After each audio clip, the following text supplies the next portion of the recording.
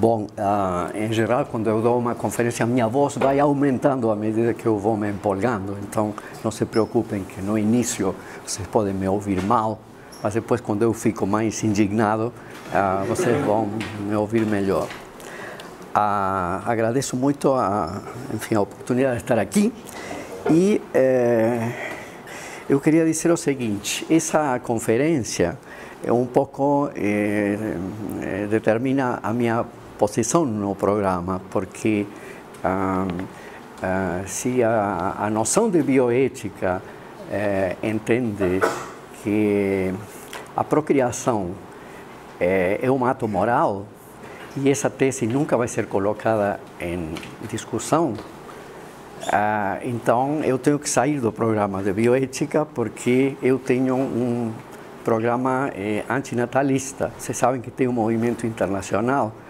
antinatalista atualmente, do qual eu faço faço parte, né? Eu estou nesse nesse grupo nesse momento. Várias obras minhas estão sendo traduzidas ao inglês, etc, etc.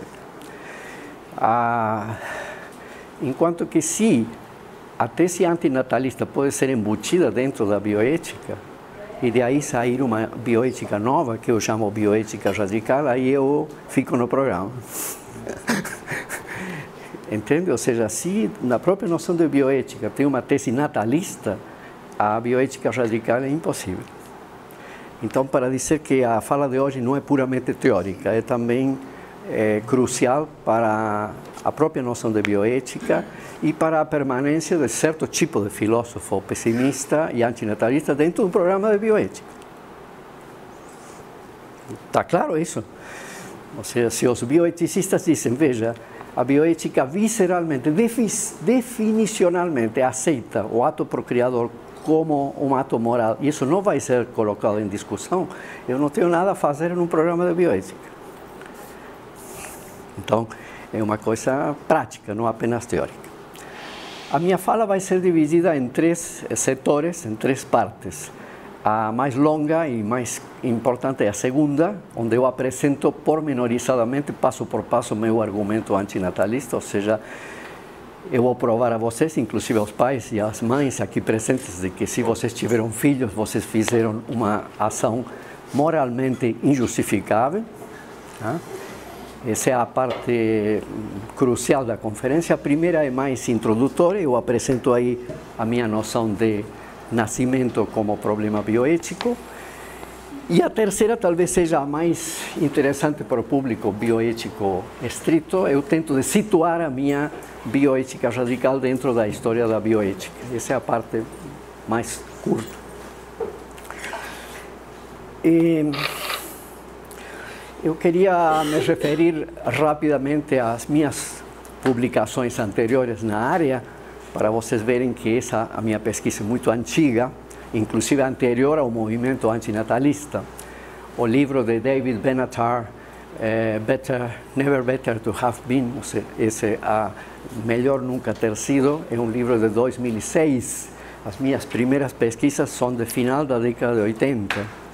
Eu fui descoberto recentemente como o primeiro antinatalista do mundo, porque é, início da década de 90 eu já estava falando disso. E meu livro é, Crítica da Moral Afirmativa, que tem um capítulo sobre procriação, é de 96, ou seja, 10 anos anterior ao livro do Benatar. Então não sei se isso é um motivo de orgulho para nós, mas o antinatalismo nasceu na América do Sul. Em 2008 tem uma publicação importante, infelizmente esse livro está esgotadíssimo, mas eu dou como informação a vocês, foi publicado em Goiânia. Em eh, 2009 foi publicado este livro aqui, que se chama Porque Te Amo Não Nascerás. É um bom motivo para vocês ficarem até o final da conferência, já que não, não tem outro motivo. Tenho alguns exemplares desse livro para presentear, tá? Então, pelo menos um motivo para vocês me ouvirem até o fim. Esse é esse livro de 2009 e como Volney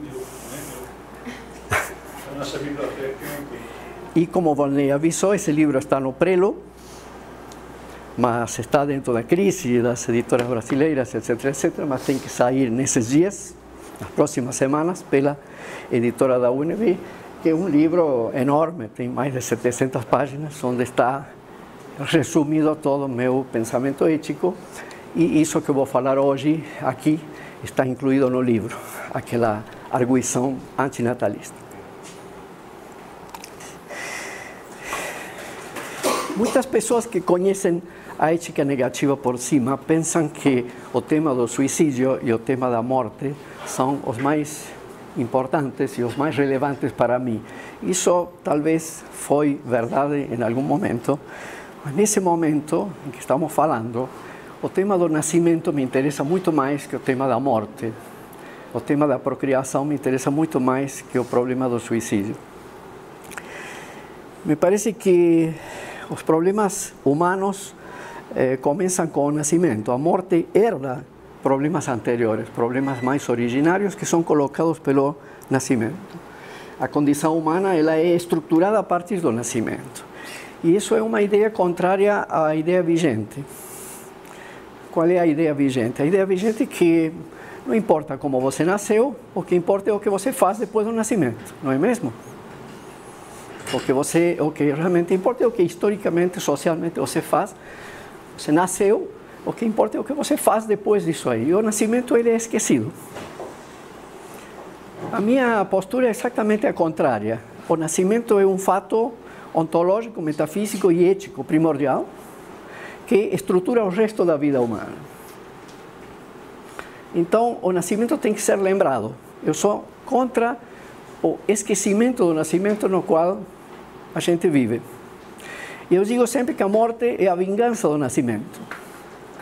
Porque quando as pessoas morrem ou estão perto da morte, estão muito doentes, estão pretas, elas se lembram que nasceram. A morte é a lembrança do nascimento, de algo que não deveria ter sido esquecido. Então a morte vem corrigir um erro, um esquecimento mal feito, um esquecimento ilegítimo, na verdade.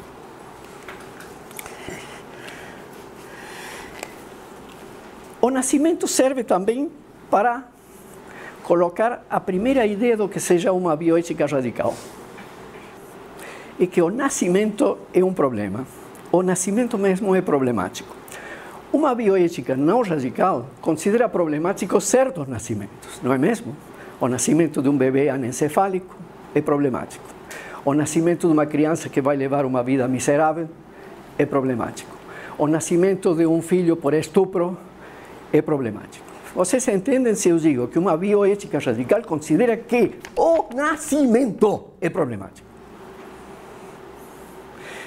Ou seja, nascer, mesmo normalmente, sem nenhum problema, não na pobreza, não na doença, não por estupro, etc.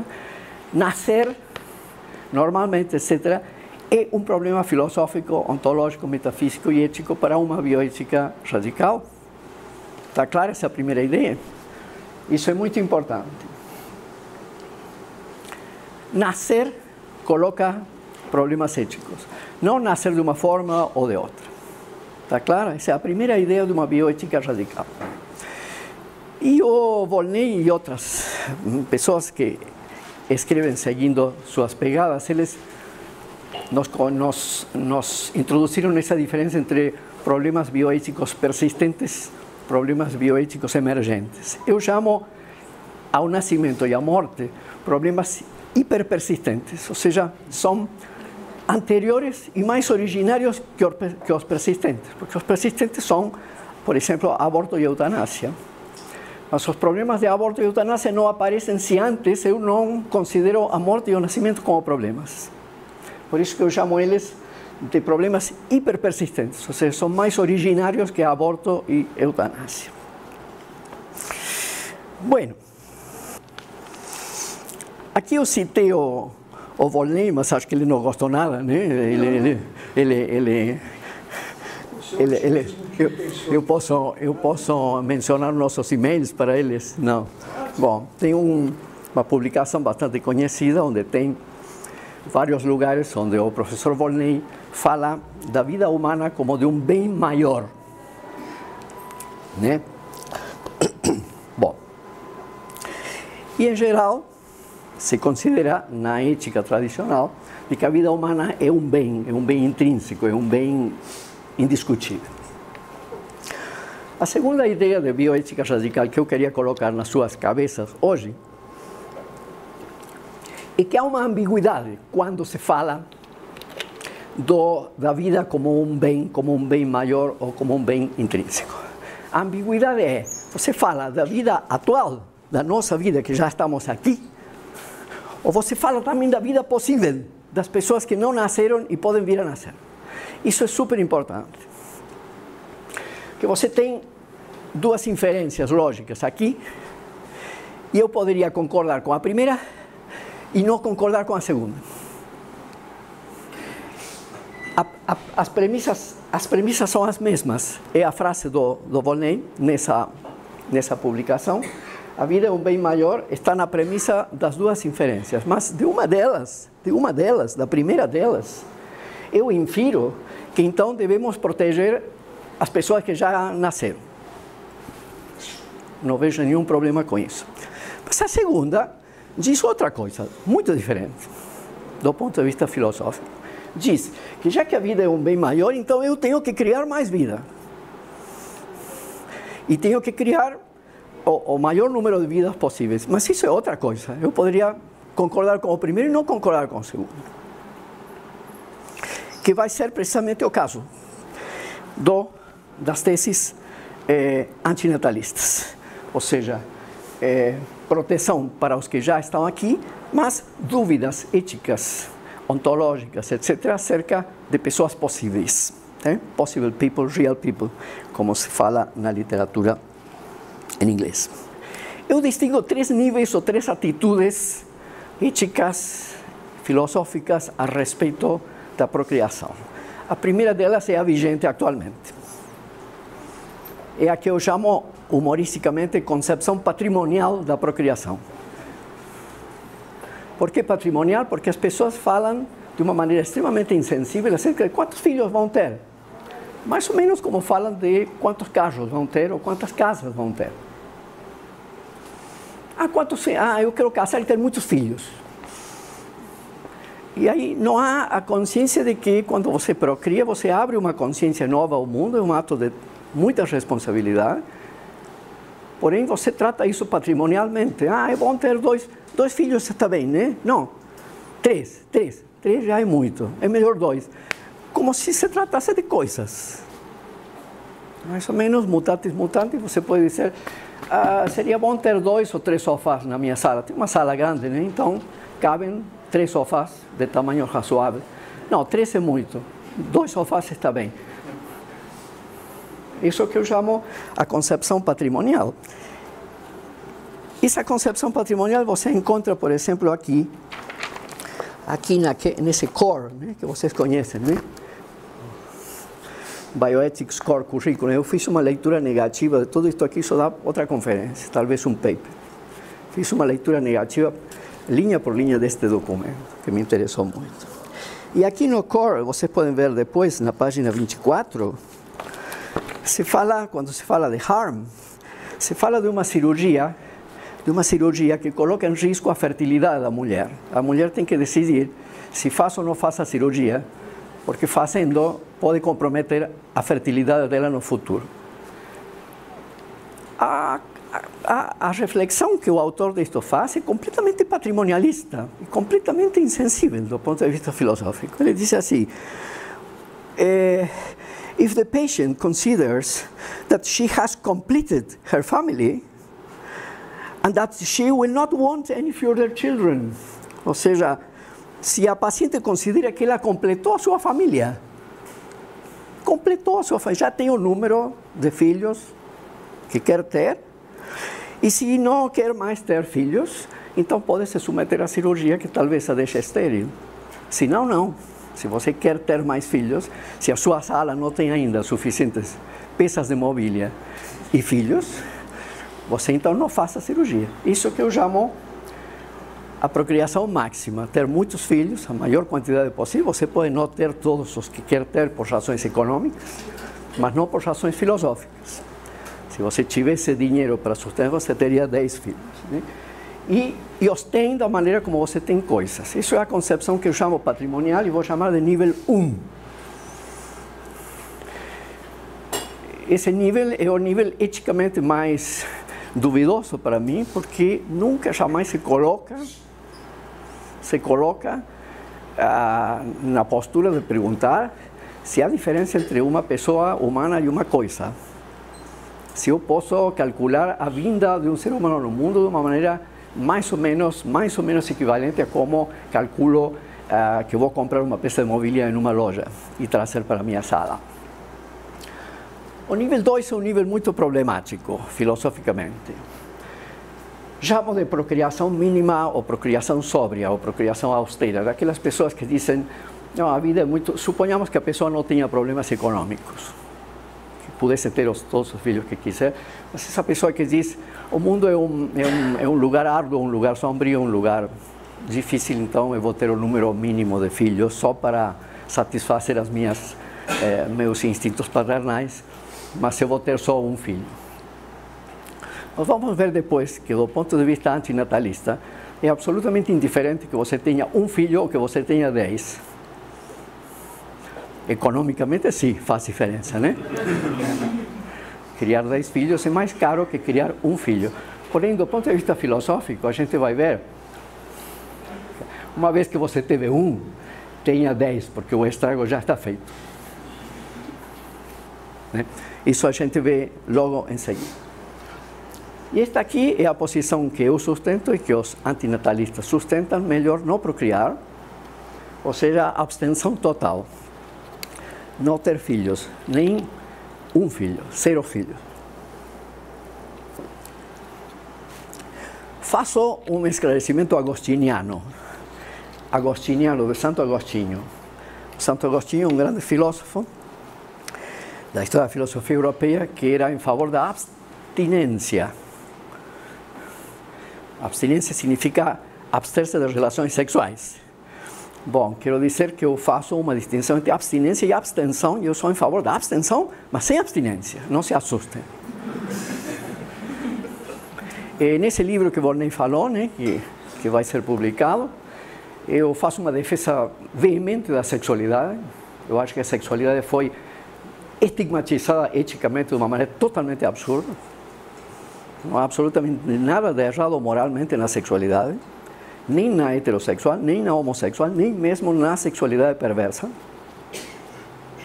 Eu mostro no livro, mas isso eu não vou falar aqui, que a procriação enfrenta mais problemas morais que qualquer forma de sexualidade, inclusive perversa. Mas isso eu não vou falar aqui, vamos ter que esperar que o livro saia.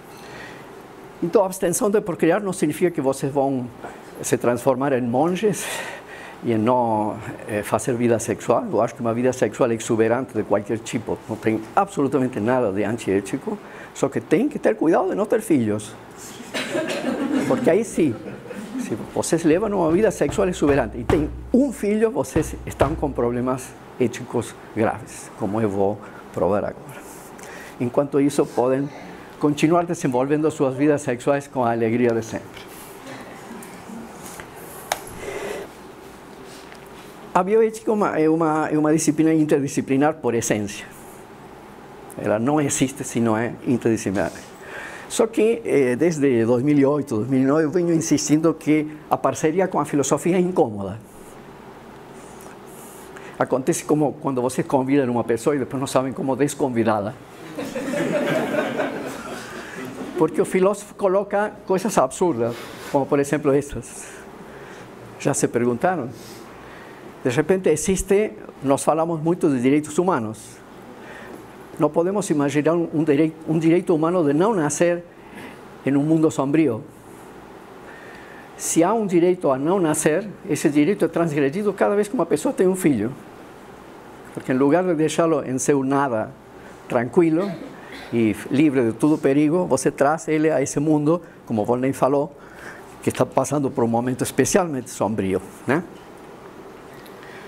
Ou, se fala muito de proteção, me lembro dos 4P, da, da bioética da intervenção, se fala muito em proteção, mas não podemos pensar no nível 3 da abstenção total como uma maneira absolutamente segura de proteger alguém? Que, que sistema de proteção é 100% seguro? Nenhum. Porém, se eu me abstenho de procriar e não tenho um filho, ele está 100% protegido. Bom, essas coisas são absurdas. Só filósofos colocam. Um sociólogo não as coloca. Um enfermeiro não as coloca. Então, quando você convida o filósofo a se sentar na equipe da bioética, vocês vão ter que estar preparados para esse tipo de pergunta absurda para nossos valores vigentes. Agora, claro, se você lida com filósofos otimistas, cristãos, esperançosos, esses que dão uma série de pressupostos por indiscutidos, então vocês não vão ter problema. Mas com um filósofo radical que faz perguntas radicais, vocês podem ter problemas. Habitualmente, habitualmente se diz que a filosofia coloca questões radicais que avalam os nossos valores vigentes. O Peter Singer, que é um autor muito conhecido de todos nós, eu tenho discussões terríveis com Singer a respeito de aborto, né? mas eu concordo plenamente com a ideia de Singer acerca do que deve ser a filosofia. Tenho aqui uma citação do Peter Singer, que está naquele livro famoso eh, Animal Liberation. Eh, Animal Liberation. E o Peter Singer diz o seguinte nesse livro sobre animais, ele diz assim: a filosofia deve questionar as pressuposições básicas de cada época, refletir de forma crítica e cuidadosa sobre aquilo que a maioria toma como certo. Por exemplo, que procriar é bom e que o mundo é bom. E acredito, a principal tarefa da filosofia é a tarefa que a torna uma atividade digna de existir, diz o Peter Singer. E termina dizendo: infelizmente, nem sempre a filosofia desempenhou esse seu papel histórico. E é verdade, porque a filosofia acaba se adaptando aos valores vigentes.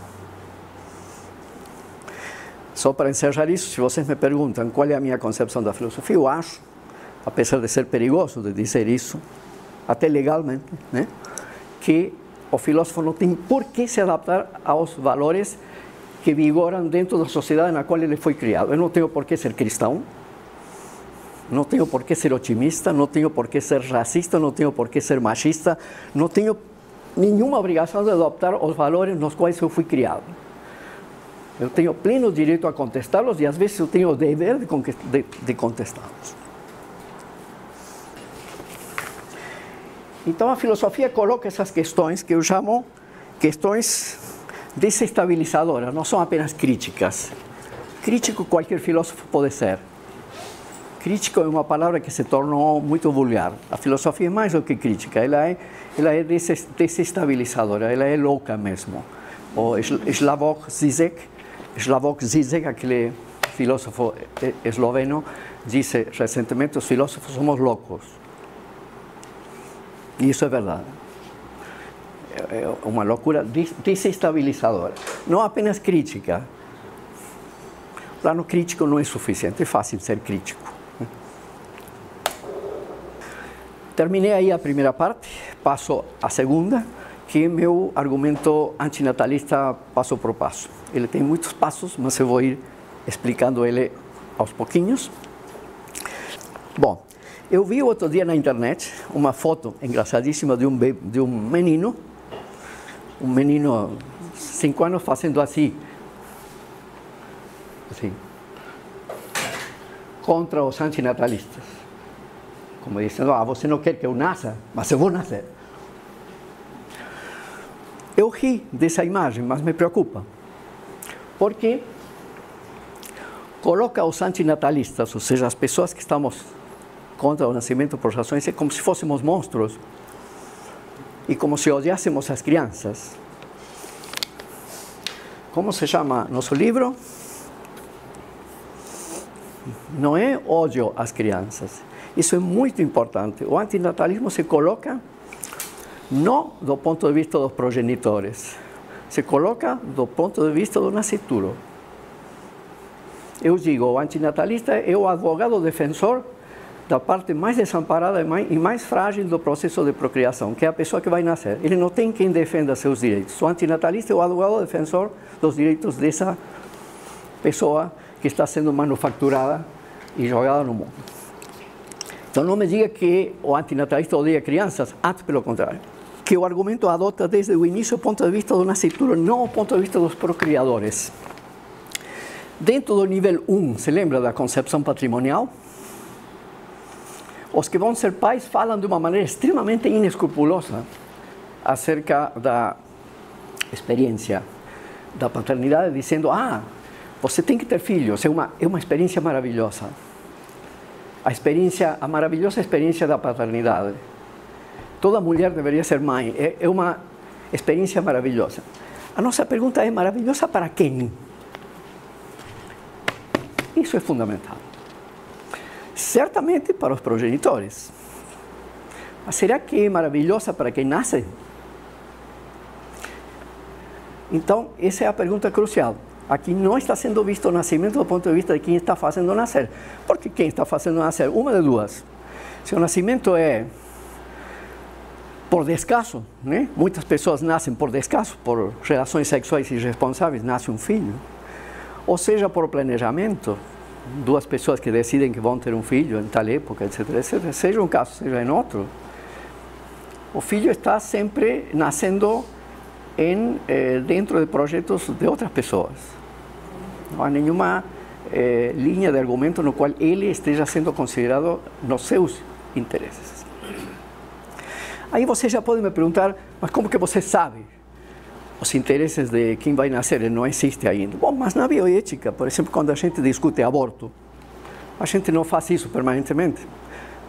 Por exemplo, se você é pró-aborto, ah, mas se você pudesse ter falado com sua mãe no momento dela estar grávida de você, você teria pedido a ela abortar? Não fazemos isso na bioética, cada momento. Bom, estou fazendo a mesma coisa aqui. O argumento que diga, não, você está fazendo falar o, o nascituro é, por você. Mas, bom, mas é o que fazemos em geral quando fazemos experimentos mentais acerca de pessoas que não existem ou pessoas que já ficaram desabilitadas, como anciões, pessoas muito velhas que não podem mais falar ou decidir. Ficou claro esse primeiro ponto?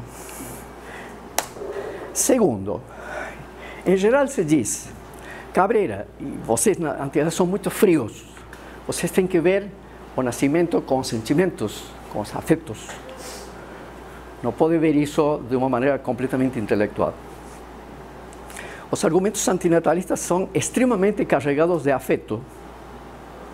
Eles estão carregados do afeto da piedade e da preocupação profunda pelo que esses, essas crianças vão sofrer no mundo. Não me diga que o argumento antinatalista é puramente intelectual e frio, em absoluto. Os argumentos antinatalistas são logopáticos. Quem leu meus livros de cinema, que eu, como o Volney falou, eu me ocupo muito com linguagem de cinema também, eu criei um neologismo logo, logopático para argumentos que são lógicos e afetivos ao mesmo tempo. Então, os argumentos antinatalistas são afetivos, sim, estão carregados de afeto, no sentido de estarem cheios de pena, de piedade e de constrangimentos diante de um pequeno ser indefeso e uma forte preocupação diante dos perigos e dos danos que esperam a quem nasce. Então, isso é muito importante. Essas duas coisas são importantes. A primeira, colocar-se sempre no ponto de vista de quem vai nascer, não do ponto de vista dos progenitores, que vão achar tudo isso maravilhoso. E a segunda é que os argumentos antiracistas são, não são puramente lógicos, eles são afetivos. Alguém pode me dizer, você desde o início da sua fala, você fala de que pode haver problemas éticos na procriação. Mas aí eu preciso eh, dizer o que, eu vou entender por ética. Ética é uma noção complicada. Vocês, na história da filosofia, vocês têm éticas kantianas, éticas utilitaristas, éticas, éticas eh, consensuais, eh, todo tipo de, de teorias. Porém, tem duas exigências que estão presentes inclusive nos documentos da bioética. Está é, aqui, está no core, está em muitos documentos importantes da bioética, que são é, as duas exigências éticas mínimas. Não se deve manipular a outra pessoa para o próprio benefício, ou seja, não utilizar a pessoa como meio, eu acho que isso é bastante plausível e bastante intuitivo. uma das coisas que mais nos incomodam é quando nos damos por conta de que alguém nos usou, não é verdade? Se dá por conta a posteriori de que alguém usou você como coisa, como um meio para obter algum benefício dela. Então, não manipular tem a ver com o famoso segundo imperativo categórico de Kant. Nunca trates a outro apenas como meio, eh, mas também sempre como um fim. E segundo, não prejudicar, ou seja, eu não posso dar a alguém alguma coisa que eu considero problemática, que eu considero má, perigosa, ou que vai fazer dano para a sua integridade física, para a sua saúde, etc. etc. Eu acho que aqui pode haver pessoas que simpatizam com a teoria de Kant, que simpatizam com a teoria de Habermas, mas não acho que ninguém negue que isto aqui é um núcleo moral bastante razoável. Não é? Então, esse núcleo é o que eu vou utilizar para eh, tentar provar que a que, a que chamo no livro a tese PROC, procriar é manipulador e prejudicial.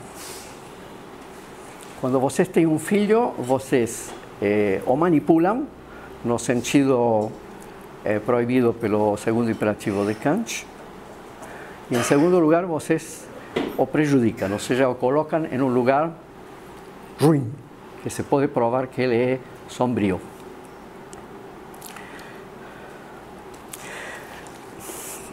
A minha estratégia, porque nos argumentos você tem que ter uma estratégia, tem que ser esperto.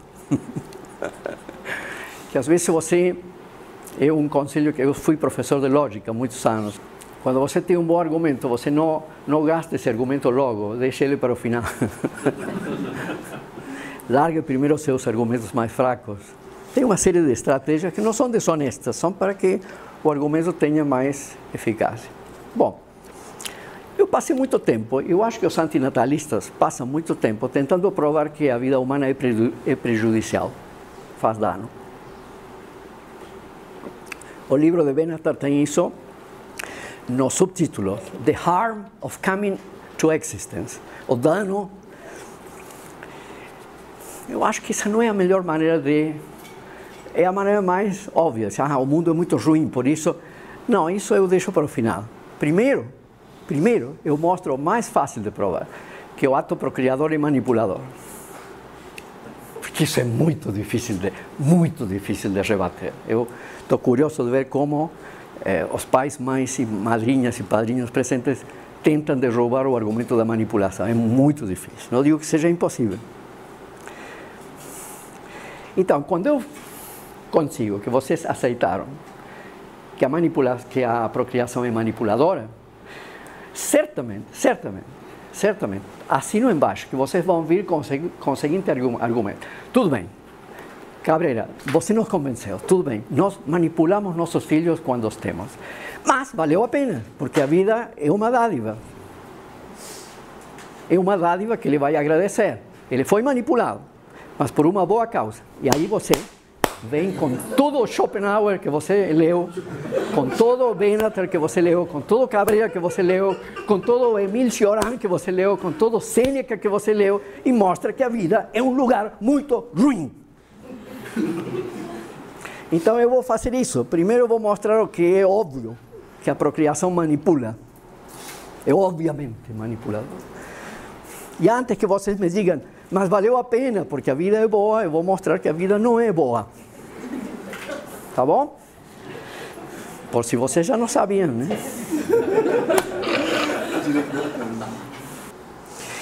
Se pode provar que a procriação é existencialmente manipuladora e essencialmente manipuladora.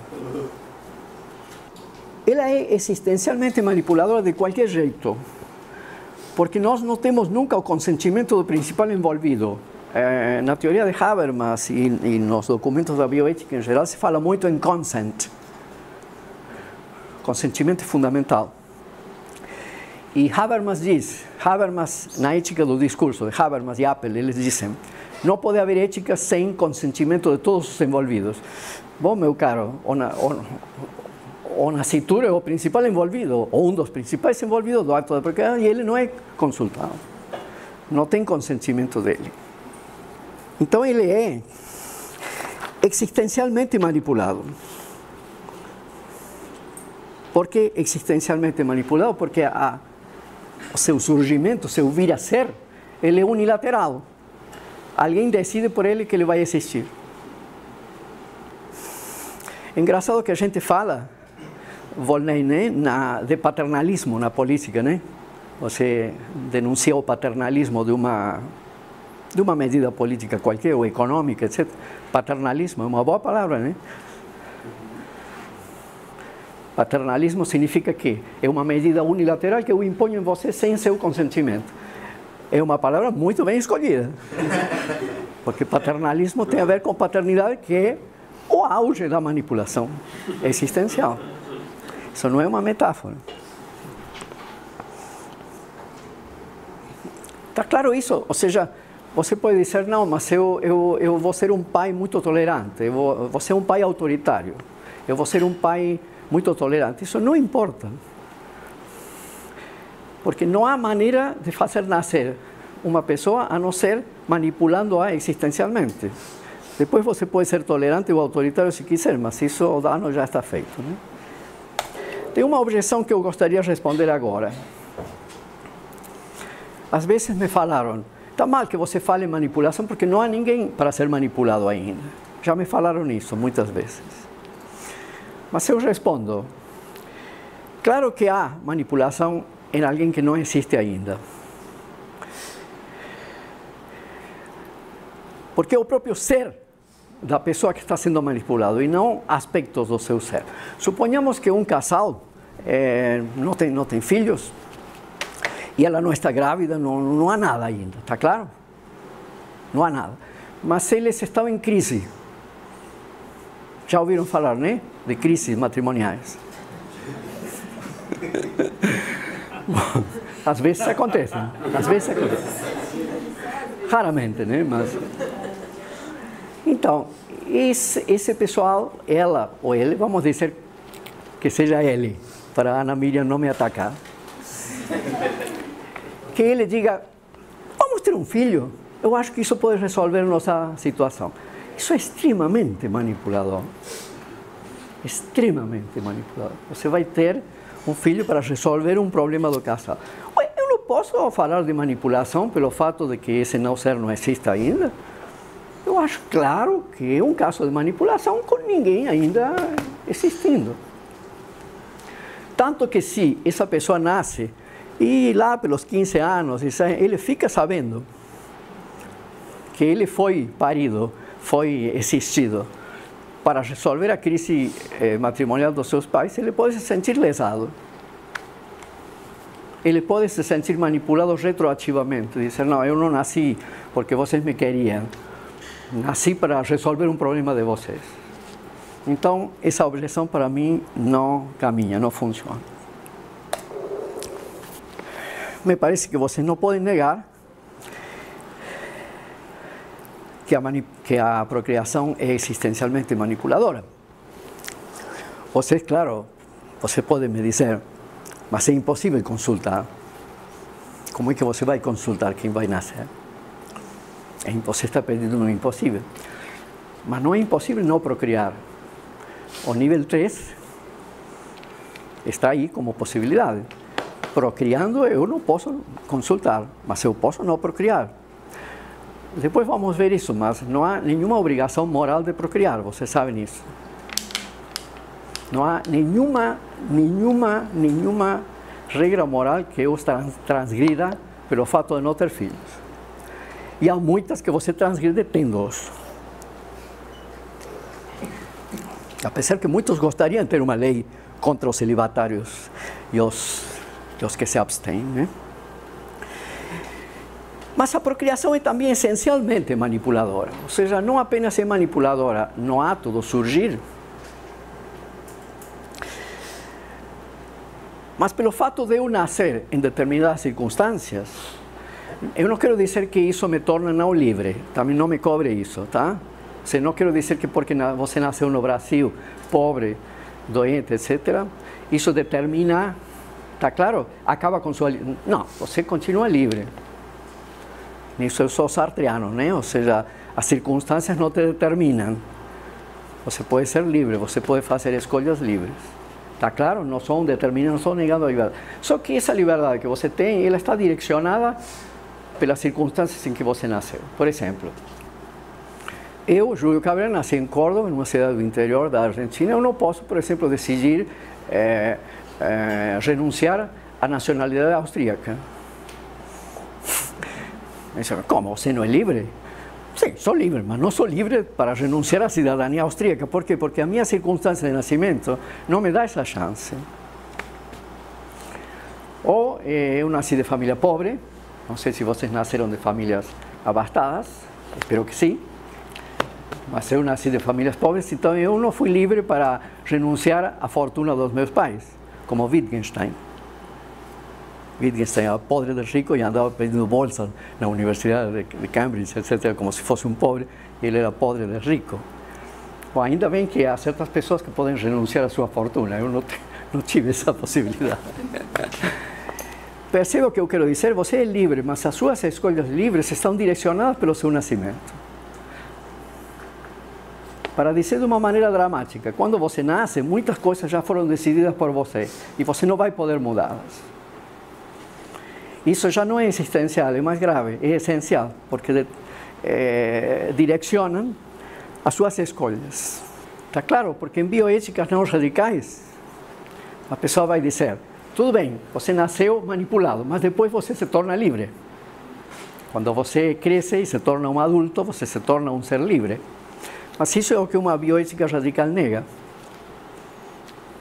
Se lembra da primeira frase da conferência? O nascimento estrutura a vida. Si no somos nacidos existencial y esencialmente manipulados, nunca jamás podemos desgrudar de esa origen. Nos ficamos grudados a esa origen. Então, nego que Rousseau, Hobbes, Kant, muitos filósofos europeus falaram de que tudo bem, você nasce não livre, mas que quando adulto você se torna livre. Ué, como é que um ser existencial e essencialmente manipulado pode se tornar livre. O que, que tem que acontecer para ele se tornar livre? Ele nunca poderá se tornar um não nascido. Impossível. Tem um filósofo cristão, eh, as pessoas sabem que eu não sou cristão, mas eu gosto muito de Kierkegaard. Søren Kierkegaard, um grande filósofo dinamarquês. E ele aplica isso que eu falei agora aos pais humanos, ao pai divino. Eu acho isso muito bonito. Ele diz: quando eh, o nosso Pai Divino nos cria, ele é cristão, ele acredita nisso, você fica indefinidamente dependente dele, de, em algum sentido. É uma tutela que não pode ser suprimida nunca. Isso eu aplico à paternidade humana também. Uma vez que você nasceu dessa maneira, é impossível desgrudar dessa origem. Uma coisa que piora a manipulação do ponto de vista moral e que essa procriação, eh, perdão, essa manipulação essencial e existencial poderia, em alguma linha de argumento, dizer foi feita em benefício do nascituro. Em geral, as pessoas querem ter filhos para se salvar, para alegrar suas vidas, para demonstrar alguma coisa, para completar sua família, etc, etc. Ou, no caso das, milhares de procriações por descaso, né? as pessoas têm relações sexuais nasce um filho, você também eh, teve o filho por um prazer, por um ato sexual desregrado e irresponsável, em seu benefício. Está claro isso? Isso é muito importante, porque alguns dizem a, a maravilhosa experiência da paternidade. Vocês já pensaram por que, que ela é maravilhosa? Talvez seja maravilhosa porque é muito manipuladora. Manipular dá, dá muito prazer. Que você tem uma pessoa nas suas mãos. Quando a criança é pequenina, você veste ela como você quer, penteia, corta o cabelo, eh, coloca em cima da mesa, como já vi coloca a criança em cima da mesa e os adultos ficam brincando com a criança. Adultos que não teriam nenhum assunto, né? possivelmente as, as suas vidas cinzas, vazias e insignificantes viriam à tona, mas com uma criança tudo se ilumina. Eu acho um ato de grande manipulação. Eu já bati fotos disso, já falei com as pessoas sobre isso na rua, nos restaurantes. Eu acho uma coisa vil e aviltante, vergonhosa e humilhante para a criança, tratá-la como um brinquedo para os adultos se divertirem. Então, não me fale da maravilhosa experiência da procriação. Claro, manipular é maravilhoso. Você sente que tem uma pessoa nas suas mãos. Pode fazer o que quiser. Eu já ouvi mães dizendo que bom que era quando vocês eram pequenos e a gente podia vesti-los e, e, e levá-los aonde a gente quiser. Já ouvi mães dizendo isso. Né? Bom, manipular é, é muito gostoso, né? Claro. Aqui vem quatro eh, contra-argumentos contra eh, o nível 3. Se diz, Cabrera ou fulano, eh, procriar é natural. Tem que aceitá-lo como um fato da natureza. Segundo, a procriação é socialmente encorajada nas comunidades em que vivemos. Terceiro, é impossível obter o consentimento do nascituro. Portanto, o que você está pedindo é, é impossível. E quarto, o argumento do amor, certamente o, o preferido das mães. O fato de dar amor a quem nasce pode compensar a manipulação. Isso já me foi dito por muitas mães. É, sim, é um ato manipulador, mas isso se compensa pelo amor que a gente dá ao. Bom, eu vou refutar esses quatro argumentos. Eu acho que nenhum desses argumentos é, mostra meu ponto, que a procriação é moralmente aceitável. Vamos voltar ao primeiro. Bom, que o fato de algo ser natural prova que isso seja também moral, eh, contradiz toda uma tradição moral europeia muito importante que a gente estuda e aplica muitas vezes. Por exemplo, a linha kantiana, ou próprio a linha utilitarista. Eles dizem, nós temos muitas tendências naturais, mas como criaturas éticas, nós temos que tentar vencer os impulsos naturais. ¿Eh? Nós somos naturalmente violentos, por exemplo, não é? O ser humano é naturalmente muito violento. O ser humano é naturalmente muito egoísta, ele tenta centrar suas decisões em si mesmas. Mas a ética sempre está dizendo, cara, você tem que lutar contra essas tendências naturais. Você não, não pode ser tudo violento que a natureza dizer, você não pode ser tudo egoísta que a natureza pedir. Então, se você me diz que procriar é natural, o fato de ser um fato natural não mostra que seja um fato moral. Antes, pelo contrário, filósofos brasileiros esquecidos, como Tobias Barreto, por exemplo, colocam exatamente o contrário. Tobias Barreto pensava que quando é natural é mau e tem que combatê-lo. Então não me diga que procriar é natural e por isso temos que fazê-lo. Toda a moralidade humana é antinatural, toda a moralidade humana é artificial. Assim como nosso sistema de alimentação em restaurantes sofisticados também é artificial e também é antinatural. E qual é o animal que come como nós comemos, por exemplo? Até nossa sexualidade é artificial. A nossa sexualidade não é puramente instintual, a nossa sexualidade é altamente simbólica. Então, esse argumento, se vocês tinham esse argumento na manga, dizem, bom, mas é fato natural, tem que me mostrar ainda que o que vem da natureza é moral. O que vem da natureza pode ser tudo o contrário da moralidade. O fato de algo vigorar socialmente não o torna moralmente legítimo. No nacionalsocialismo havia leis racistas que proibiam aos judeus entrar em restaurantes e fazer cursos universitários. Que aconteceria se Hitler tivesse ganho a Segunda Guerra Mundial? E tivéssemos hoje um mundo nacional-socialista? não poderia surgir uma única pessoa, uma única pessoa que se insurgisse contra essa sociedade toda e dissesse: não, o racismo ele é injusto, mesmo que seja aceito socialmente, ele é injusto e eu sou contra. Eu vou me deixar matar, mas não vou aceitar nunca o racismo. O fato de que algo vigore socialmente não o torna moral. Então, eu não tenho porquê, insisto, não tenho porquê ser cristão, não tenho porquê eh, ser cristão simplesmente pelo fato de que eu nasci numa sociedade cristã, que fui educado no cristianismo, etc. Não significa que eu não possa, eh, digamos, decidir que o cristianismo eh, foi antiético durante a colonização espanhola, por exemplo, portuguesa, e me afastar do cristianismo. Ou de qualquer valor vigente. Bom, aqui isto é muito fácil, você tem razão, é impossível consultar a uma cintura, mas é perfeitamente possível viver sem procriar. Não sei se vocês sabem isso. Sabem? Apesar que nós vivemos em sociedades que compulsivamente tentam de que você tenha filhos, é uma coisa impressionante. Ainda bem que eu já saí da idade, da minha idade fértil, porque, porque porque quando eu ainda era casadeiro e era um, um bom partido, todo mundo insistia nisso como se fosse um dever. E você, quando que, quando que você vai casar? Quando, quando que vai formar uma família e ter filhos? Parece que uma, uma obrigação, uma pressão muito forte.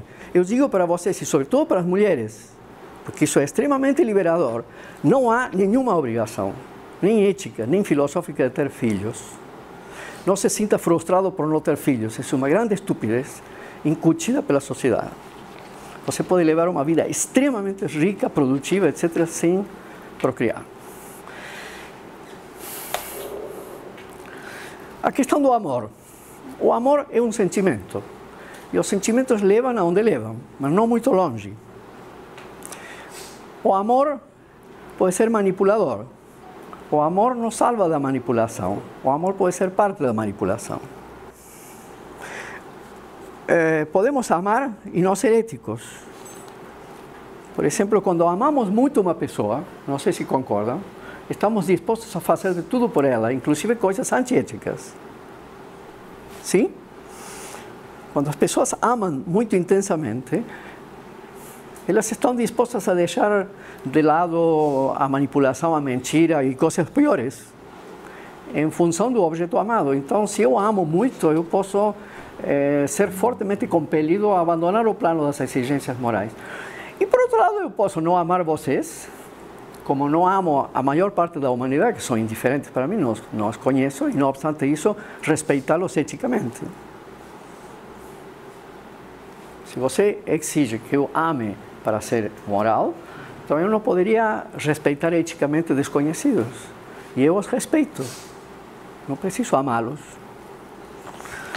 Por outro lado, não sei se vocês sabem isso, monstros morais como Hitler amavam profundamente seus parentes. Por exemplo, leiam a biografia de Toland sobre Hitler.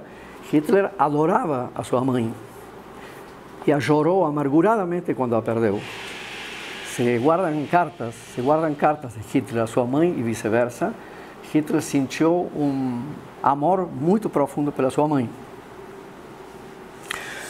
sem ir tão longe, os corruptos da, na televisão, como se chamam? CPIs, né? Que, que, que, que, eles, muitos, vocês devem ter visto na televisão, eles dizem, ele já está pro, tá provadíssimo que eles desviaram dinheiro público, fizeram monstruosidades morais, dizem, mas eu fiz tudo isso por amor à minha família. Aí, ou seja, o amor justifica tudo, né? Até sair fora da ética. Então não me diga que o amor que você dá ao nascituro justifica algo moralmente. O amor é um sentimento. O amor tem que ser ético. Tem que ser um amor ético. Os gangsters também, os gangsters davam muita importância à família, à família. Não é? O poderoso chefão, The Godfather. Os gangsters davam muita importância à família e amavam profundamente a, os membros da família. Os que estavam fora da família, bala, né? Então, não, não, não venha com esse argumento de que o amor sacraliza alguma coisa moralmente, que isso não funciona. Não funciona. O amor tem que ser ético. Então, é o ético que importa e não o amor. Uma vez que você aceitou o que procriar é existencialmente e essencialmente manipulador e que essa manipulação não se justifica nem pela natureza, nem pela sociedade, nem pela falta de consentimento, nem pelo amor, aí você, eu deixei vocês encurralados. Vocês, o único lugar para fugir é dizer, bom, tá bem, tá bem, tudo bem, eu manipulei meu filho. Porém, eu fiz por uma boa causa, porque eu lhe dei uma dádiva muito grande, que ele vai me agradecer depois. E aí eu entro com meu argumento, que o argumento do Benatar, de que além de ser manipuladora, a procriação coloca o ser humano em uma situação muito, muito, muito sombria. Neste ponto deve mostrar-se que a vida, além de manipular, prejudica o nascituro. Quando você faz nascer alguém, você coloca essa pessoa em uma estrutura terminal. O que significa isso? Em uma estrutura na qual quem nasceu começa a acabar, né? A famosa frase comum: para morrer basta estar vivo. Por isso que um bebê pode morrer. Um bebê pode morrer pouquíssimo depois de nascer. Ou pode esticar até 30 anos, 40 anos, até 100, 100 anos. Tem Kirk Douglas, famoso ator de Spartacus, que está com 101 anos. Tem a Olivia de Havilland, não sei se sabem. A Olivia de Havilland é a estrela de O Vento Levou está viva.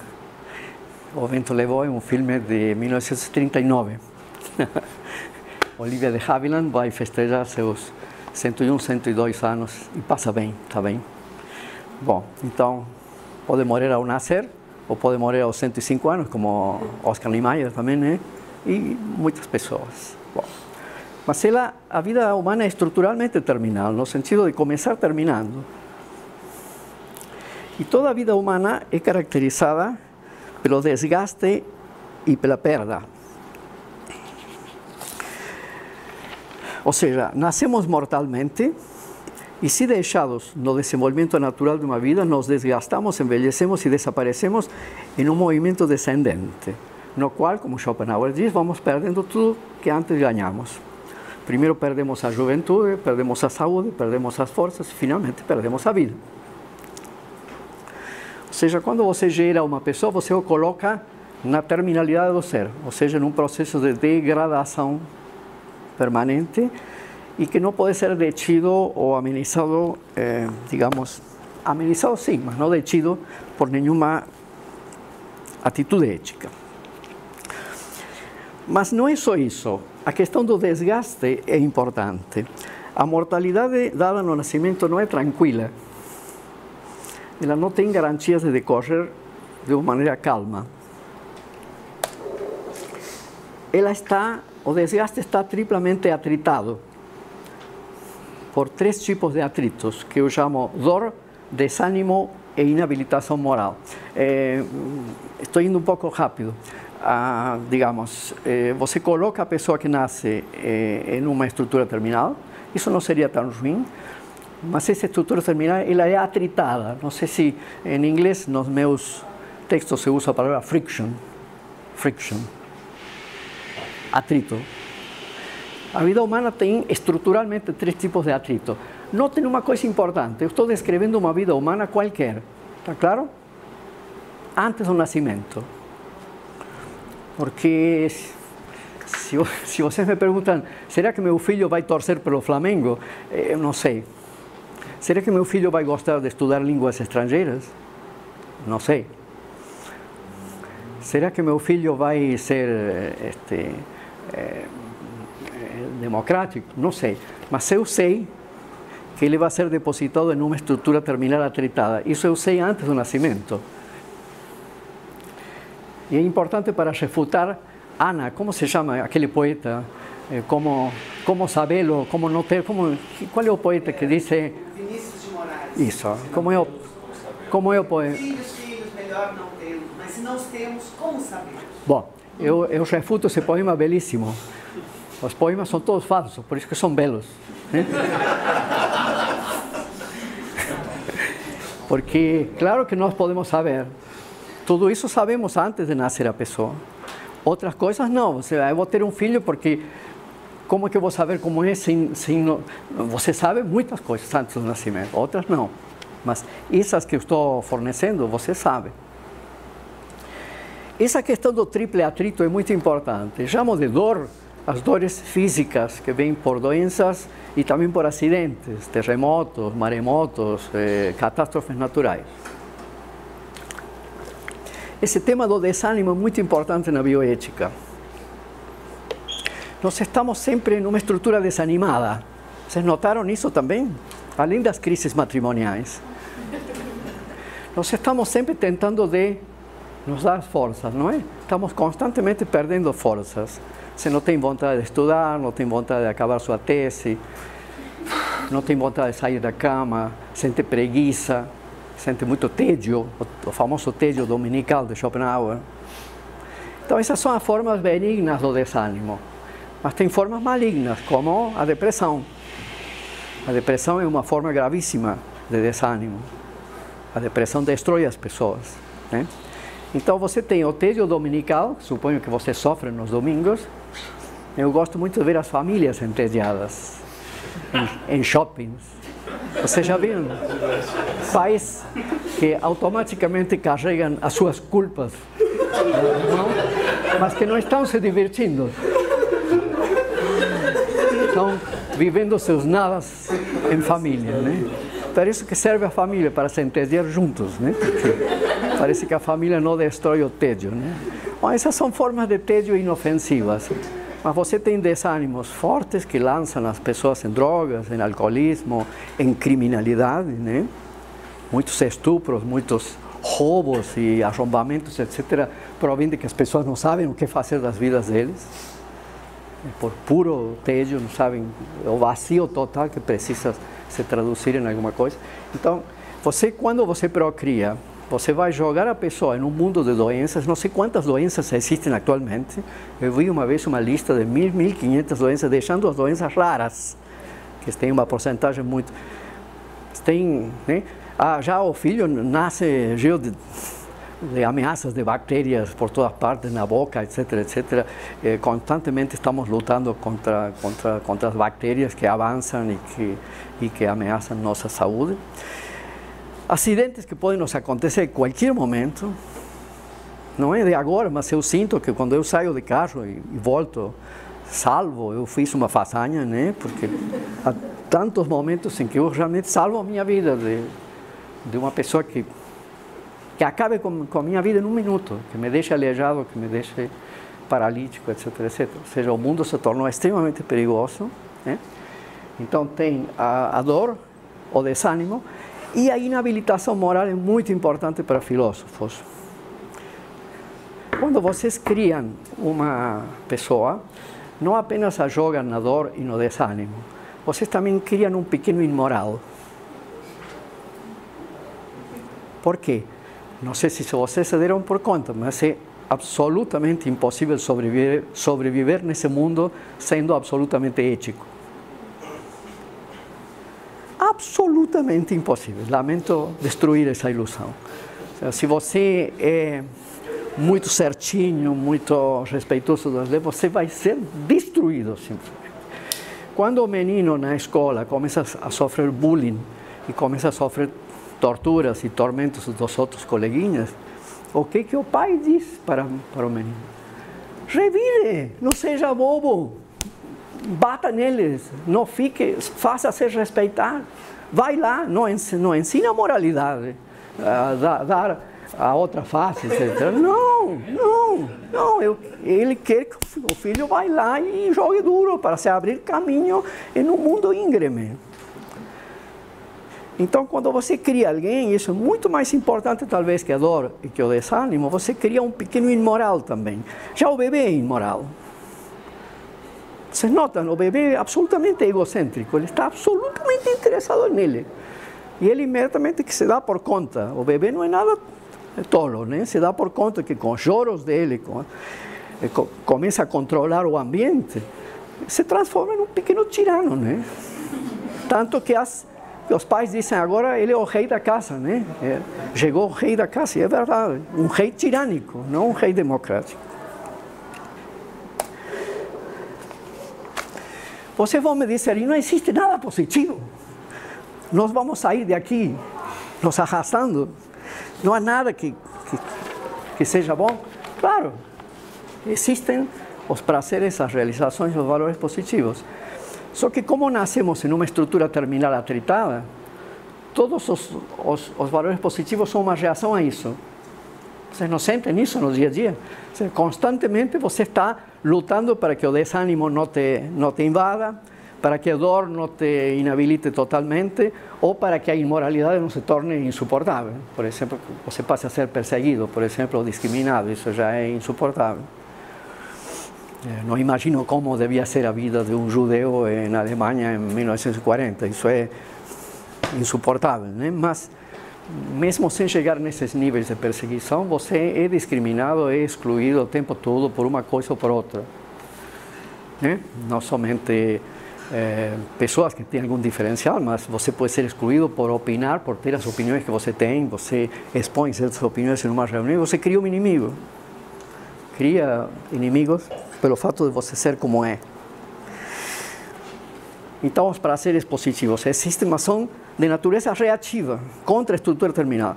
E eles são esforçados, efêmeros, moralmente inabilitados, porque é difícil levar em conta os outros quando eu quero impor um valor, quando eu quero ser feliz.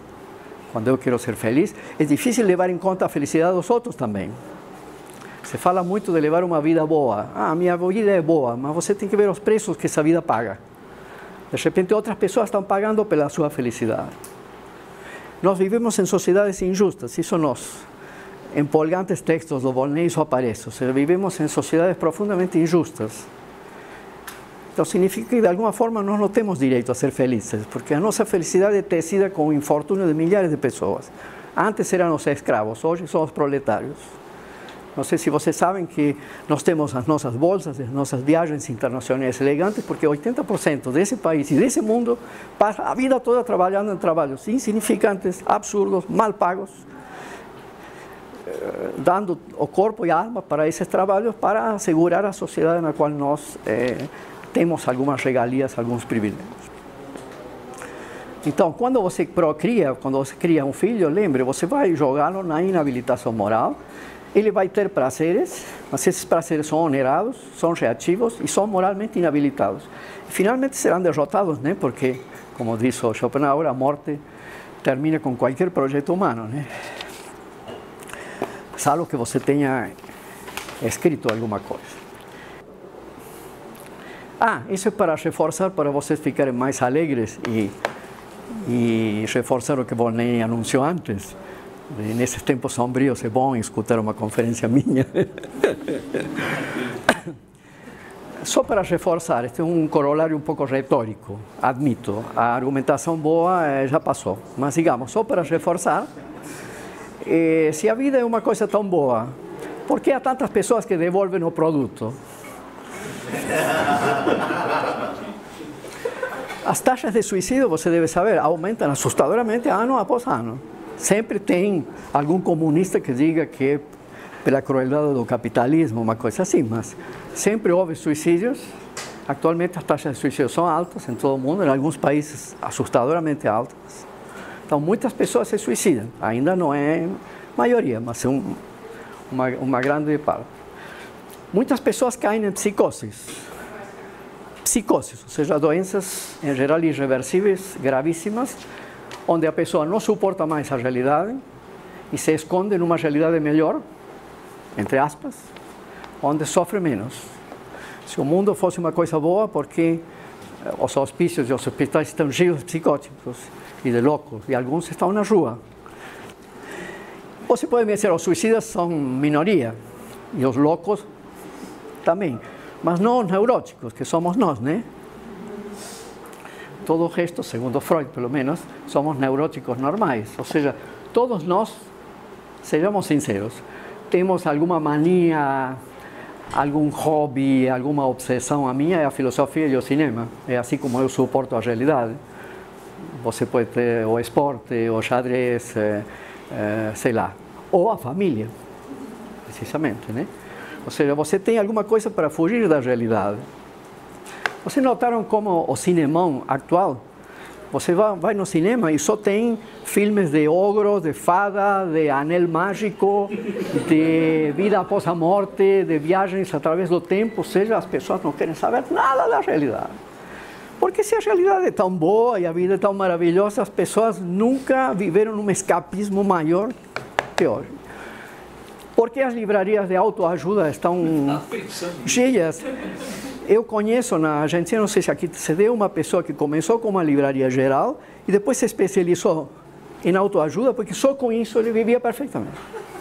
Porque se a vida é tão maravilhosa, as pessoas procuram autoajuda nas religiões e nos livros de uma maneira desesperada. Então, a nossa conclusão otimista, depois disso passo à terceira parte, que é muito curtinha, né, que fala de bioética.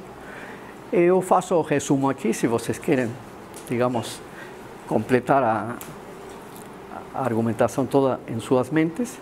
Se a manipulação é inevitável na procriação, se a vida dada na procriação é terminal e triplamente atritada, sensível e moralmente, se os valores positivos são apenas reativos, defensivos e paliativos, se não há garantia alguma de o nascituro tem forças para suportar o triple atrito, se vai se suicidar ou, ou, ou ser psicótico, neurótico, etc. Então, se tudo isso é, vocês aceitam, né, a procriação não está eticamente justificada, porque ela, além de manipular, ela prejudica. E aí termina o argumento antinatalista. Tinha me esquecido de mencionar uma coisa da, da Mercedes, né? Se lembra da Mercedes? Ou seja, ela me abriu essa, essa, esse mundo dos medicamentos? Que é uma coisa também que fala mal contra a vida, ou seja, a maior parte das pessoas, apesar que esse não é meu caso, mas a maior parte das pessoas não podem viver mais sem medicamentos para dormir, para acordar, para estudar, para pensar, para, amar, para, que se, uma, se criou um mercado assim impressionante? Que mostram que a vida é um lugar sombrio. E Volney falou antes de esse momento que está vivendo o Brasil, ou seja, além de todos esses problemas estruturais, tem os problemas contingentes, que podem passar, mas não passam. Não conheço nenhuma pessoa que que não tenha dito da sua própria época que era uma época de crise. Eu acho que vou pular isso aqui, porque isso está muito longo, né? Eh, tem dois contra-argumentos que, em geral, se apresentam contra o argumento antinatalista, que eu eh, não vou tratar detalhadamente, só informo a vocês. O primeiro são os famosos argumentos ad hominem, dizer eh, os antinatalistas têm essas ideias pessimistas porque eles tiveram problemas com a família e são homossexuais, são impotentes, eh, são uns fracassados, são uns frustrados e por isso, bom. Esses são os famosos argumentos ad hominem. Não sei se vocês estudaram lógica alguma vez, teoria da argumentação em geral, isso é uma falácia, ou seja, atacar a pessoa em lugar de, examinar o argumento. Eu digo, eu concedo tudo isso, né? Pensem tudo isso de mim. Eu tive uma infância infeliz, é, a minha mãe me odiava, é, concedo tudo. Só que isso não toca a qualidade dos meus argumentos. Isso só explica por que eu os apresento. Agora você tem que ir lá e dizer, não, veja, a vida não é tão ruim, a vida não é manipuladora, aí sim. Não, os prazeres não são puramente reativos, aí sim. Você não pode dizer, ah, não, você como Schopenhauer, né? Schopenhauer teve uma relação infernal com a mãe. A mãe de Schopenhauer era uma escritora, amiga de Goethe, uma escritora snob. E a relação dele foi horrível. E, obviamente, isso teve uma influência nos escritos dele. Trazer à tona a relação infernal que Schopenhauer teve com a mãe para avaliar os argumentos pessimistas dele me parece absolutamente fora de lugar. Outro argumento é o argumento Adão e Eva, de dizer que se todo mundo fosse assim, a humanidade acabaria. Isso sempre as pessoas dizem. A resposta mais linda que eu escutei é, de novo, do já mencionado eh, Agostinho de Hipona, que além de estar em favor da abstenção, estava em favor da abstinência. Você sabe, se você está em favor da abstinência, está em favor da abstenção, mas não a inversa. Bom, então ele era, eh, eh, pregava não ter eh, contato sexual com as mulheres. E aí perguntaram a ele, mas se todo mundo fosse assim, o mundo acabaria. Alguém sabe a resposta de Agostinho? Se ele falasse inglês, ele diria, so what?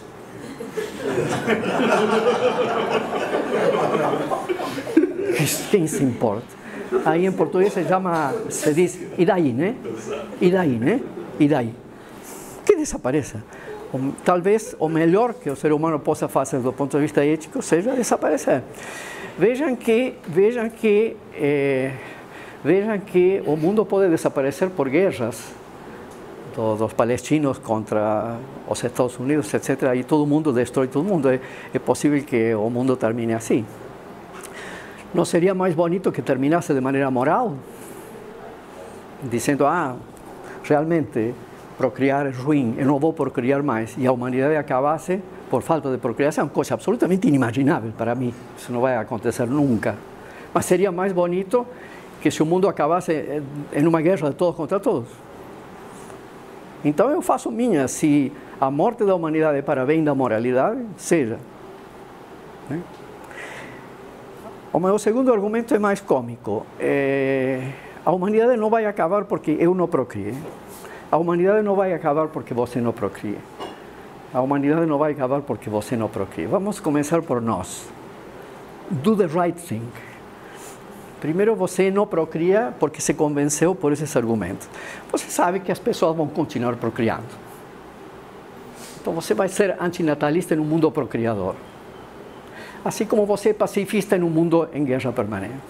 Assim como você é moral sempre no mundo imoral. Qual é o problema? Sempre foi assim. Então faça a sua parte, não tenha filhos. As pessoas vão continuar tendo. A humanidade não vai acabar. Por quê? Porque as opções morais nunca ganham. Sempre as opções vitalistas, matar, procriar, etc., predominam. Nunca a humanidade vai se suicidar por motivos morais. Né? Então, isso, infelizmente, eu não, não tenho tempo de desenvolver. Mas para justificar a minha permanência no programa, eu queria.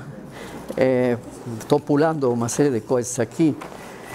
O Volney, em vários escritos dele, e isso já é sabido, a, a bioética tem uma história curtinha ainda, mas muito rica. Muito rica, né? Passa, é, sigo aqui as exposições dele, né? Por, por, por, sua fundação nos 70, por Potter, né? Uma obra crucial, né?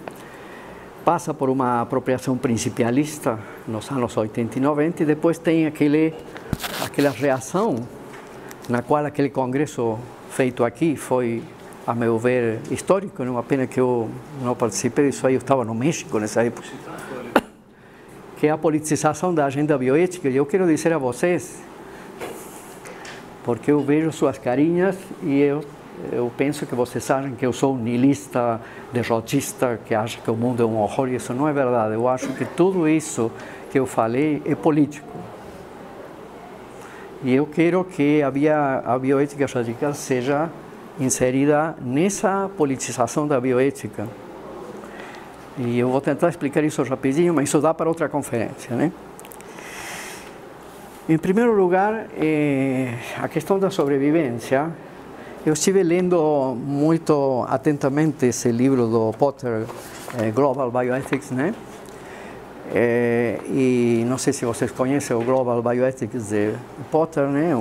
Eu considero um clássico do ano 88. Ele se dá por conta que não se pode falar de qualquer sobrevivência. Tem que ser uma sobrevivência with dignity. Survival with dignity. Não é qualquer sobrevivência. Isso eu chamo eh, sobrevivência ética. Sobrevivência ética. Eu não vou me demorar aqui na classificação do Potter. Potter distingue cinco tipos de survival, de sobrevivência, que chama mera sobrevivência, sobrevivência miserável, sobrevivência idealista, sobrevivência irresponsável e sobrevivência aceitável. É, por exemplo, a sobrevivência miserável de comunidades cheias de doenças e problemas sanitários, mas que ainda conseguem viver, é um tipo de sobrevivência. Sobrevivência irresponsável seria aquela do nível 1 é, da procriação, ou seja, que usufrui dos bens sem se preocupar com a questão do aumento populacional, por exemplo. Mas eu acho, eu faria a seguinte crítica a Potter, mas isto aqui eu não estou tão seguro e eu coloco a discussão de vocês. Eu acho que uma sobrevivência ética não tem que apontar só ao bem-estar, nem à saúde. Por exemplo, o que aconteceria se uma comunidade indígena está cheia de doenças, de gripes, etc., mas por razões políticas, eles recusam a ajuda branca? Possivelmente em decorrência dessa, dessa postura, que eu acho que, acontece, né? eles venham a sofrer eh, doenças que colocam essa tribo no que Potter chama sobrevivência miserável. Mas de repente pode ser miserável e ética. Porque responde a uma atitude de rebeldia contra uma penetração branca.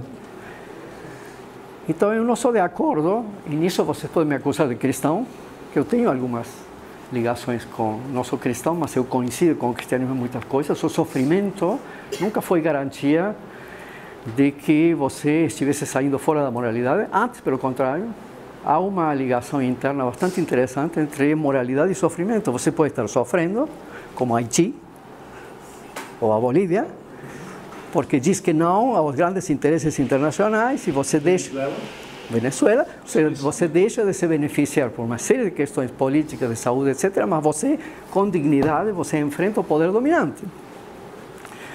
Então, já desde os dois pilares da nossa sociedade ocidental, que são Cristo e Sócrates, né? Vocês notem que Cristo e Sócrates aceitaram a morte, parece que ambos poderiam ter fugido, se eu não me engano. A ambos lhe foi oferecida a fuga, nenhum dos dois quis fugir. E aceitaram sofrimentos terríveis por envenenamento, por crucifixão, em bem da moralidade. Então, eu acho que o livro de Potter está muito eh, endereçado para o bem-estar, eu acho que isso não necessariamente é, conflui com uma sobrevivência ética. Uma sobrevivência ética pode ser muito incômoda, pode não ser nada cômoda. E a minha tese, que acho crucial para a minha permanência no programa, é que essa tese antinatalista, baseada nessa argumentação que eu apresentei a vocês, que vocês escutaram com tanta simpatia e atenção, eu agradeço muito isso, que é uma coisa longa, né?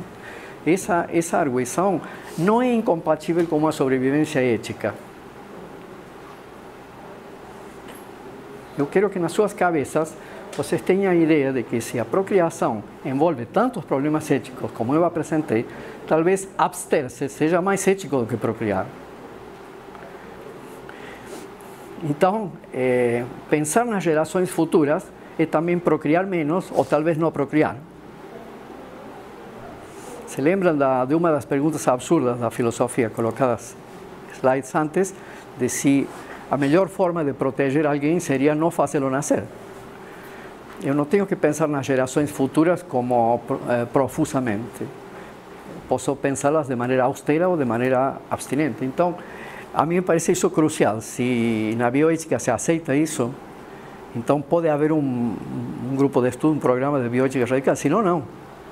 Se alguém, por exemplo, um cristão, um, um bioético cristão que nós conhecemos, diz, não, mas tudo isso é um absurdo total, deve haver mais pessoas, se coloca no nível 1. É absolutamente absurdo é, falar da abstenção de procriar como uma forma de proteção, etc. Então não há bioética radical e eu tenho que sair do programa, tenho que ir de novo para a filosofia.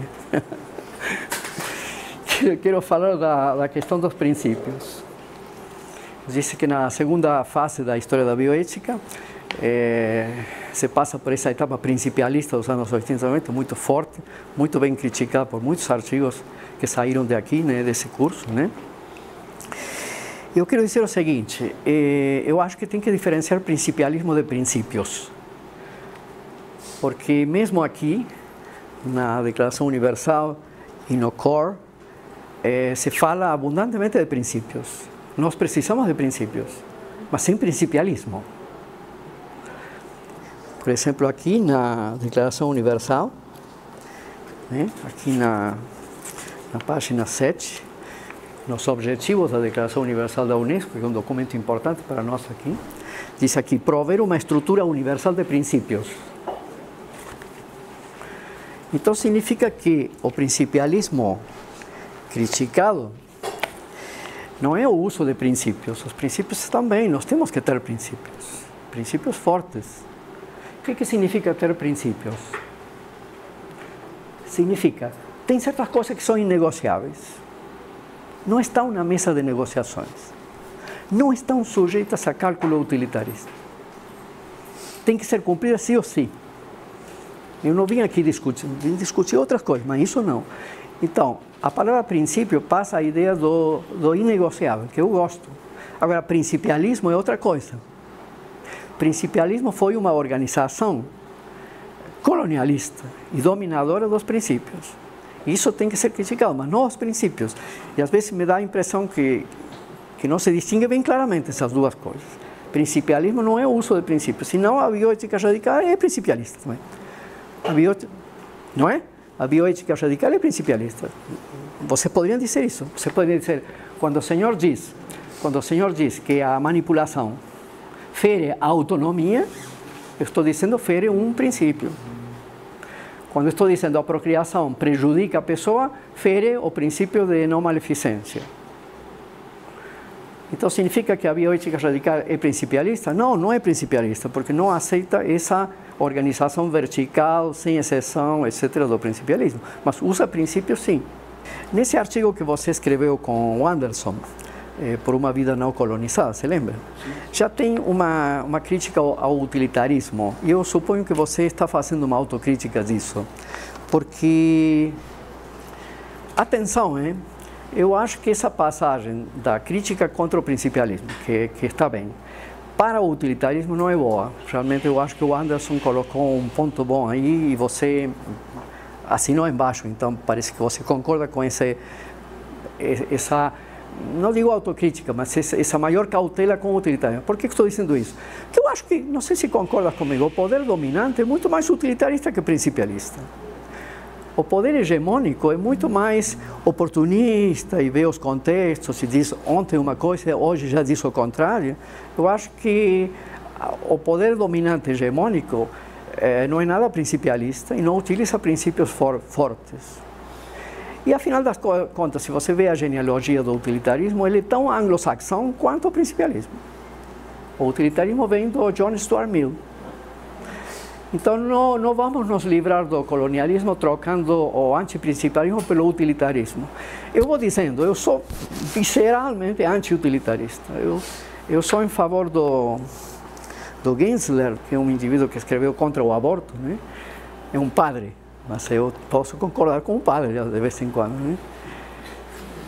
E ele diz que, que não considera o utilitarismo como uma teoria moral. Você considera, consideraria uma teoria moral uma teoria que diria que, que se torturando e matando uma criança você salva a vida de mil pessoas? Está bem. Isso se segue dos princípios utilitaristas, porque os princípios utilitaristas é o benefício da maioria. Se Hitler tivesse acabado com os judeus da Europa, que obviamente eram uma, uma minoria, né? apesar de serem muitos, ele teria feito um grande bem para toda a humanidade. Então passaria pelos, pelos testes utilitaristas. Ou você está em um bote né? e as pessoas estão se afogando, etc. Então você dá uns pontapés para que não subam mais pessoas, porque no bote já tem 100 pessoas, você salva a vida dessas pessoas mata uma pessoa. Mas, bom, eu não considero isso uma teoria moral. Então, acho que a gente tem que, que ver essa questão do utilitarismo. E por último, eu acho que a, obtenção de procriar, em um contexto de procriação máxima, de nível 1, aquela procriação patrimonial e irresponsável que considera a criança como uma coisa, é um ato político, sim é um ato fortemente irritante e perturbador da ordem estabelecida. Eu acho que é um ato revolucionário. Inclusive se coloca muito, muita pressão, sobretudo nas mulheres, para procriarem, como se a vida consistisse nisso. Eu acho revolucionário e, e político se insurgir contra essa ideia. Né? É, mostrar que, que tem muitas coisas para fazer na vida, tem romances, escultura, cerâmica, viagens, cultura, livros, filmes, etc, etc, muito mais que passar a vida criando filhos, isso não é para todo mundo, não deve ser colocado como um dever. Então eu acho isso político. É, tem, tem um impacto de desagrado que é típico dos atos revolucionários. E vai contra a ordem estabelecida. Pensar nas gerações futuras, etc., é um pouco o pacote progressista liberal, né, que vem junto com a noção de progresso, de desenvolvimento, etc, etc. Ou seja, as gerações futuras que vão usufruir dos bens que nós estamos produzindo hoje, etc, etc. Então, a procriação máxima, eu acho que vem dentro do do pacote hegemônico. Nesse sentido, o antinatalismo seria um ato político. Então, a minha mensagem para vocês é, por favor, não tenham filhos. Se vocês tiveram filhos, já não há nada que vocês possam fazer diante da bioética radical. Isso é muito importante. Vocês têm que se mudar de ética. Não há nada que vocês possam fazer, o dano já está feito. Né? Mas, para os que já estão aqui e não procriaram, isto é importante. A luta política. A luta política em geral é inglória. Ultimamente eu estive vendo filmes, vocês devem conhecer os líderes negros que foram mortos, assassinados nos Estados Unidos na década de 60. Agora saiu um documental que concorreu ao Oscar, Eu Não Sou Teu Negro, se chama. Já viu? Eu, Eu Não Sou Seu Negro, se chama, um documentário que trata dos três líderes eh, negros eh, mortos, Medgar Evers, Martin Luther King e Malcolm X. Eh, desde os Tupac Amaru e das insurgências indígenas até esses casos, você sabe, o Che Guevara, etc., você sabe que se você compra uma luta política grave, você não chega aos 40 anos. Todos esses negros tinham 39, 30, etc, etc. O, o grande líder da insurgência irlandesa contra os ingleses, como se chama, Michael Collins. Michael Collins tem um filme também, que foi o grande herói da revolta dos irlandeses contra o colonialismo inglês, morreu aos 31 anos. Se vocês me perguntam, é uma boa maneira de morrer. Você está na terminalidade do ser, você vai morrer de qualquer forma. Talvez de velho, com doenças, etc. De repente, para você que já está aqui, primeiro, não tenha filhos. Segundo, envolva-se numa luta política e mora aos 31 anos. Fazendo bem, mora pela moralidade. O Cristo tinha 33, Sócrates não sei quantos, mas era jovem também. Não tem que lutar por uma vida longa. Talvez estou dizendo um, uma, uma heresia dentro dessa época de longevidade, de prolongamento da vida, etc, etc, mas eu acho que os, os dois dicta antinatalistas seria não procriar e mora heroicamente. Obrigado.